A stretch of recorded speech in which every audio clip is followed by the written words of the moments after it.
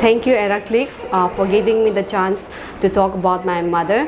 So first of all, I would like to say that um, uh, my mother is my uh, the best mom. I would like to say like my mom is the best mom, and like uh, she's a very strong woman because um, like from my childhood, she's the one who has supported like. Uh, mostly we see that uh, the fathers they uh, like support their children in any like financial way but my mother has given me everything uh, for like like every love and like every best education whatever she could provide she has given me.